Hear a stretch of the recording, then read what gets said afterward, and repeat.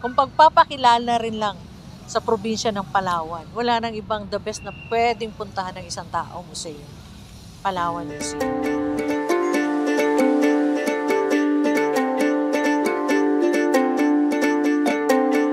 Sa pintuan ng Palawan Museum, magbabalik tanaw tayo sa kasaysayan ng lungsod. Ito ang dating City Hall ng lungsod ng Puerto Princesa, na ngayon ay nagsisilbing isang gusali na bumubuhay sa mga alaala ng nakaraan.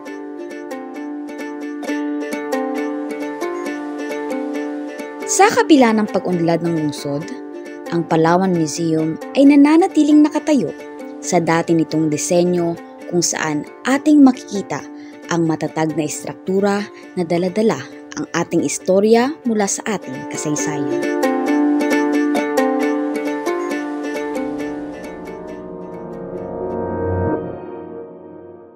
Sa paglipas ng panahon, ang dating gusali ng City Hall ay naging saksi sa magkakaibang yugto ng kasaysayan. Dito unang ipinakilala ang mga ordinansa na bumubuo sa kasaysayan ng lungsod.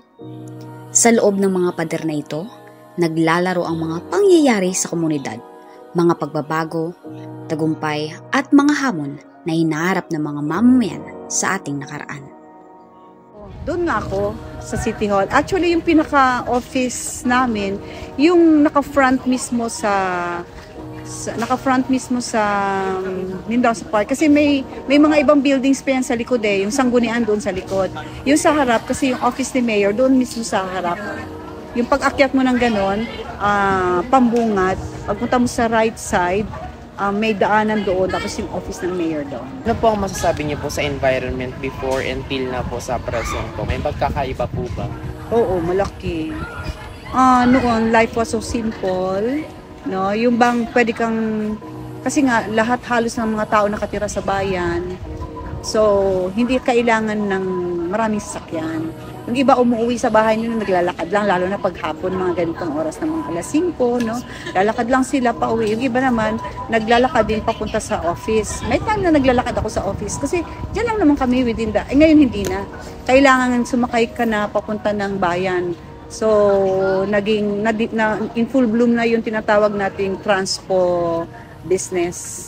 Kasi nga, tsaka kailangan namang maraming makakainan dahil hindi ka na rin makauwi sa bahay mo. Noon kami umuwi pa sa bahay ng tanghalian. Pagka halimbawa, off namin ng 12, 1 ulit ang balik namin, nakakauwi pa kami. Pagkatapos namin kain lang, mabilis ang kain, tapos balik na naman sa opisina.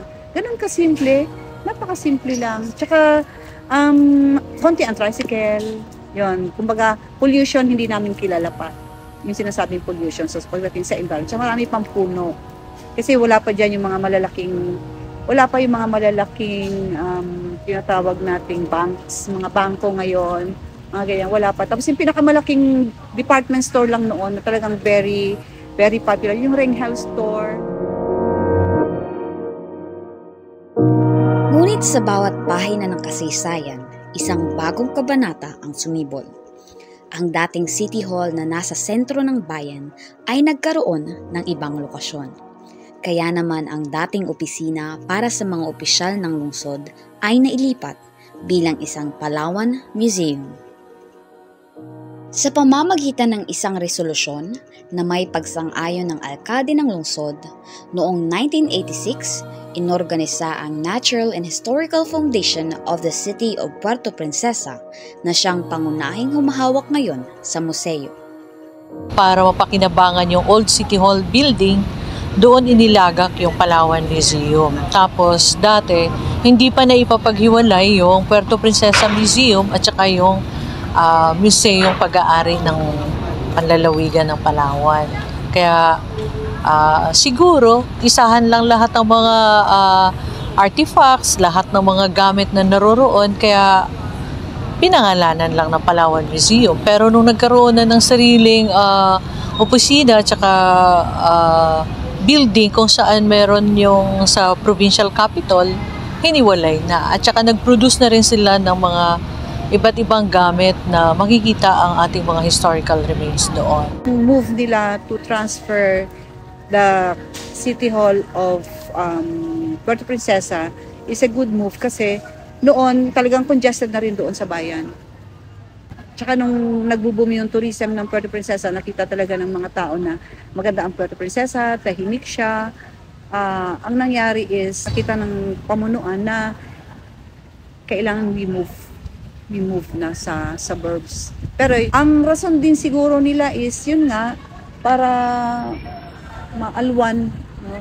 masikip na doon eh pero mo yung office namin tapos may katabing office na isa katabing office na isa parang mas maraming taong pumupunta noon is yung mayor's office malapit lang sa tinatawag na licensing office, mga ganun. So yung mga kumukuha ng lisensya, pag tambak sila, ang dami-dami nila. Tapos sa baba yung treasurer's office, mga ganun. At noong September 1, 1987, ang foundation ay nabuo sa bisa ng Executive Order No. 20 at nilagdaan ng nooy alkalde ng lungsod na si Honorable Alfred E. Abueg Jr. para sa pagtatayo ng museo at aklatan na magsisilbing imbakan ng mga relic at artifacts at lugar ng impormasyon sa mayaman at makasaysayang kultura at likas na pamana ng lungsod. Dahil dito, ang dating pintuang bukas para sa opisyal na gawain, ngayon ay naglalaman ng mga pamanang kultura, mga exhibit na nagpapahayag ng kasaysayan at mga artifact na sumasalamin sa yaman ng Palawan. Dito dinadala yung mga artifacts na naku- nakuha sa iba't ibang lugar dito sa Palawan. Ah, exclusive lang ito para sa yung mga nak- nak- nakuhang artifacts sa Palawan. Um, sa prehistory dito makikita yung Manong Kuchar, Scout um, tapos ah, language and people of Palawan. Language and people of Palawan, yung lahat ng mga um, epicrafts, mga artifacts from different IPs, indigenous people. Ah, next is yung archaeology. Archaeology, doon makikita yung mga na-excavate dito sa Palawan. Mga ceramics, underwater, then, tsaka yung Palawan Biodiversity Collection. Tapos, may, meron kami dito sa baba, ano, gallery called Local Artists. At kalaunay na pagdesisyonan ang pagpapalawak ng saklaw ng foundation. At noong April 20, 1989, ito ay nairehistro sa Securities and Exchange Commission bilang Natural and Historical Foundation Incorporated ng Palawan at ng lungsod ng Puerto Princesa.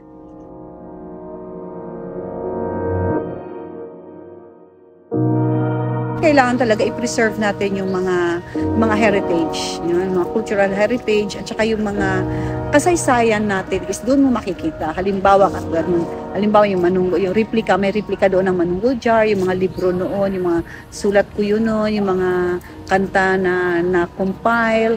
At saka nung time na pumupunta ako sa mga museum, meron akong mga nakikita yung lingling o lingling o ano, yung, siguro I don't know if that's a replica, yung sinasabi nilang lingling o ah, earrings noon, yung mga ganun, tsaka mga shells.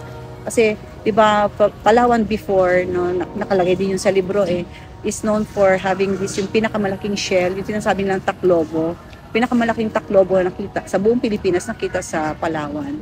Napakaraming taklobo noon.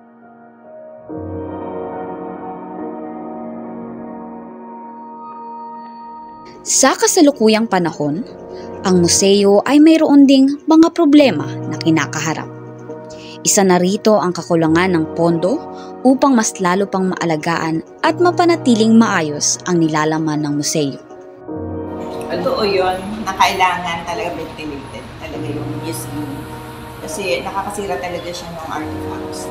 Pero siguro, sa near future, baka magawa na rin namin mapa-aircon to. Hindi lang namin masabi kung kailan. Pero kailangan talaga siya naka-aircon. Yan ang talagang hindi kaya ng foundation, ng actually ng museum. Kasi malaki talaga ang pagka mag-aircon or sa ano, hindi talaga kakayanin ng pondo. Pero sabi naman ng taga-National Museum, okay naman. Naging positive pa rin kami na sana, lumaki pa rin ang aming aid, at least, may, maano namin yung, mga, yung mga artifacts, may ventilate. Maganda siya, mailagay, lagyan siya ng aircon.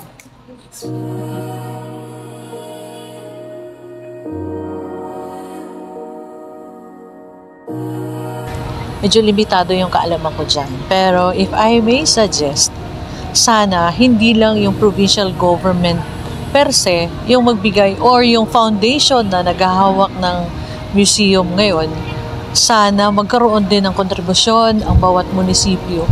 Maglagak talaga sila ng kanilang pondo kasi yung kinakampanya natin ito ay sa impormasyon ng lahat ng mga tao, sa kahit saan sila galing, ay ang pagpapakilala ng ating probinsya ng Palawan. So bawat munisipyo dapat may kontribusyon dito para mapalawak yung uh, nilalaman ng ating museum, mapalawak ang magiging kaalaman ng mga taong bibisita dito.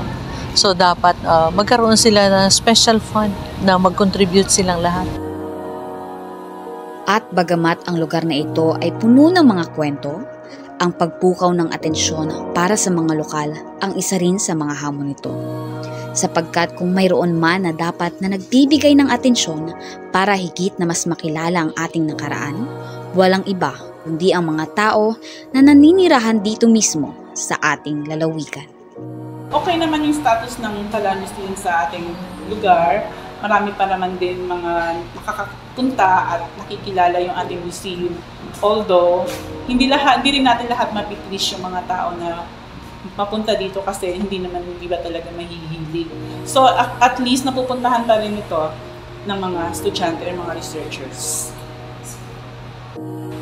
mga estudyante, foreigners, pero mas ma- yung local ano natin dito from Palawan, mas marami yung mga outside. Tsaka mga, estudyante. Kagaya. Nasa adhikain ng pamahalaan yan kung gusto nila talagang mapalawak ang pagpapakilala ng probinsya ng Palawan. Dapat pangalagaan natin palawakin natin kung ano ang meron sa ating uh, museo. Kasi ito yung nagsasalamin kung ano tayo dati eh. At saka ito rin ang magde-define kung ano ang meron tayo ngayon. Okay? So maiintindihan natin once na nakapunta tayo sa isang museo. Isa itong panawagan sa ating lahat na alagaan at ipagmalaki ang ating kultura at kasaysayan. Ang mga kwento at kultura ay nananatiling buhay at dapat ipagmalaki nating mga palawenyo dahil ito ang saksi sa ating nakaraan at atin din itong magagamit sa hinaharap. Dapat magtulong-tulong hindi lang yung provincial government mismo, pati yung mga munisipyo. If I may suggest nga, mas mahalaga din kung bawat munisipyo meron din kanya-kanyang museum. Uh, social media with the technology and then of course napaka-brilliant yung mga bata. Okay? Uh, talagang please, 'di ba? I-emphasize natin, ikampanya natin na mainganyo lahat ng mga taong pumunta sa museum natin. Okay? Kasi sabi ko nga, 'di ba, walang ibang best avenue na makilala mo yung buong bayan kundi sa kanyang taglay na kung anong meron sa isang museo.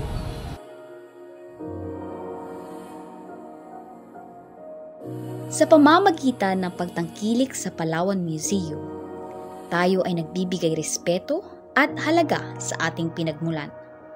Nananatili itong saksi sa ating nakaraan na naglalayong kabayan tayo tungo sa hinaharap.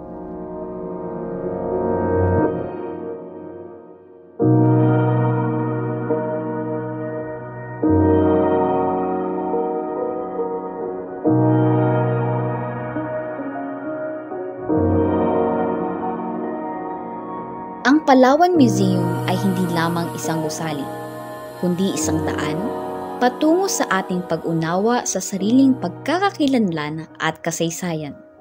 Naway patuloy nating pangalagaan at ipagmalaki ang yaman na meron tayo sa Palawan.